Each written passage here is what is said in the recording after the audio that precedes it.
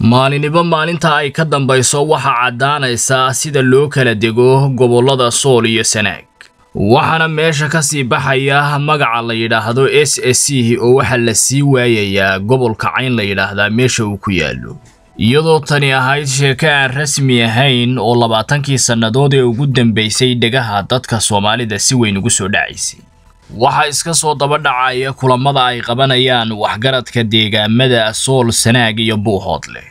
kuwaasi oo sheegaya deegaamada tani inay yihiin dhulkoodii ay ku dhasheen ee ku soo barbaareen meel ay u dhaafaana aanay jirin. Iyadoo ay taasi kuu caddaynayso somalilan inay tahay dowladda keliya ee horena uga talinaysay dibna uga talin doonto deegaamada tan. War ka soo baxay degmada buuhoodle ee gobolka togdheer ayaynu warbixinteenna ku soo koobaynaa oo ay u dhammaayeen waxgaradka iyo madax dhaqameedka deegaankaasi deegaanka qorilugud ee degmada buuhoodle waxa kulan ku yeeshay madax dhaqameedka iyo waxgaradka deegaankaasi waxaana ay ka soo saareen war murtiyeed iyaga oo daaha ka rogay gobolka cayn la yidhaahdaa meesha uu ku yaallo ilaa iyo hadda in aan la isla ogeyn.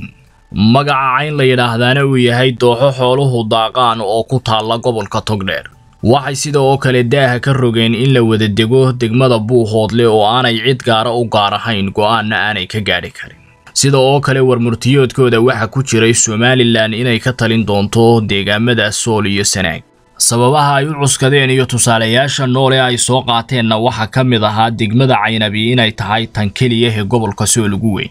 Horena ay uga hadashay masiirka deegaamadaasi iyo meesha uu ku wanaagsan yahay sheegtayna ah inay halkaasi somalilan ahaan doonto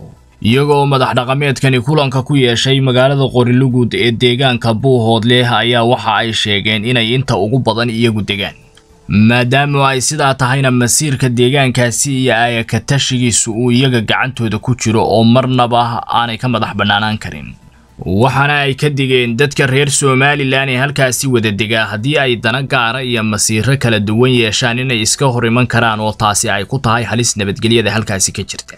waxaana war murtiyeedka ay madax dhaqameedkani soo saareen uu ahaa mid xaqiiqda daaha ka rogaya deegaamada sool iyo sanaag iyo buuhoodle kuwaasi oo weji kale loo sameeyo waxaana ay meesha ka saareen gobolka cayn la yidhaahdaa inaanu wax jira ahayn. Hore ayay u hadleen madax dhaqameedka degmada caynaba oo ah tan ugu weyn gobolka sool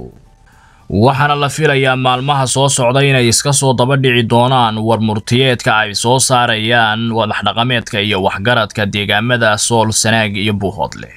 ka farxi ehelkaaga asxaabtaada iyo qaraabadaada. Oo la soo deg abka dahabshiil si aad si fudud lacag ugu dirto. Marka aad la soo degto ablicathonka dahabshiil ee aad lacag ka dirayso isticmaal koorka khadmad la'aanta ee tree oo kuu sahlaya in saddexda jeer ee ugu horreeya ee aad lacag dirayso aan wax khidmad ah lagaa qaadin dahabshiil howlfudaydiyahaaga maaliyadeed